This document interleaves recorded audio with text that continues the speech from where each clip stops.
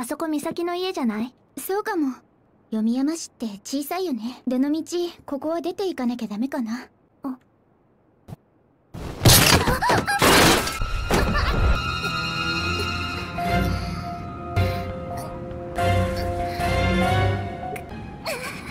ダイエットしとけばよかったな。私より細いんだから大丈夫。私が助けるから レイも一緒に落ちちゃう。いや絶対離さない。美咲は私が。ね。レイ